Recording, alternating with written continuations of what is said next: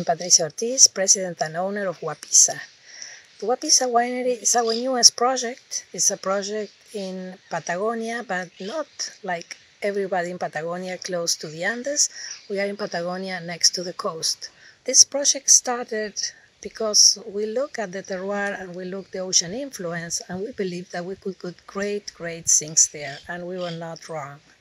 The proximity from the ocean gave us a humidity, despite that Patagonia is really, really very dry.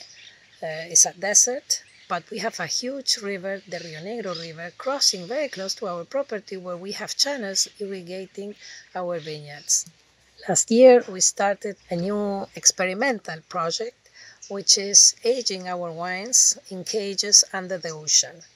Our first cages with 500 bottles each were placed last September. We are now taking them out, the first cages, in order to taste and see what's happened to the wine.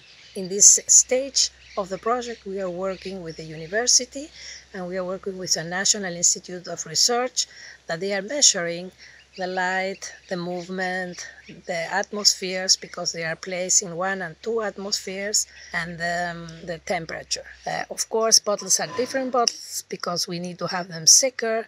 They are sealed with uh, some wax so that there are no contamination or not uh, water coming inside. And um, everything was proved that we are not contaminating anything in the ocean we are really very excited with this project. We are seeing what's tasty, waiting to taste the first ones because uh, we think that could be really revolutionary for the Argentina winemaking. Working in Patagonia is not easy. There is no experience in winemaking or in vineyard taking care. So um, for us was a real challenge. We have now a staff moved there but when we started, we have to get people there, and it's not close from Mendoza. But we think all that effort is really is great. We are producing now a Sauvignon Blanc with the ocean influence. It's like saltiness. You can even feel the ocean. Uh, we produce a Malbec, nice Malbec, very different from Malbecs from Mendoza and from the other Patagonian Malbecs.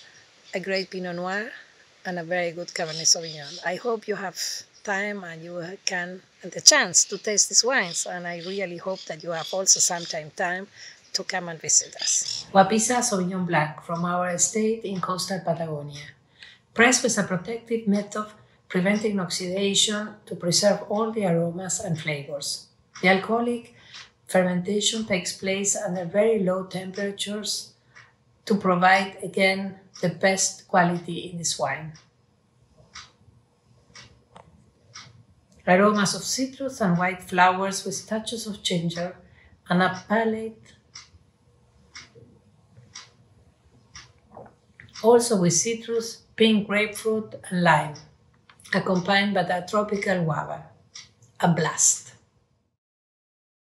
Wapisa Malbec. This Malbec comes from a new area growing Malbec in Rio Negro, Patagonia, but next to the ocean.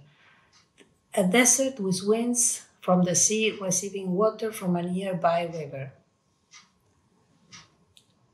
Red colors, vibrant, with violet tints, black sherry and mineral touches, very ripe tannins, and a balanced acidity. A wine with an excellent structure. Wapisa Pinot Noir.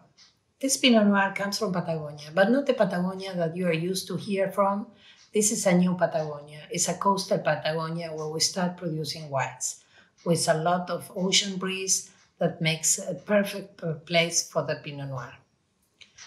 With 100% malolactic fermentation, this Pinot Noir shows a very bright color. Aromas of strawberries, fresh raspberries, note of rose petals, and cherries. Fresh and delicate, with firm tannins and a silky texture.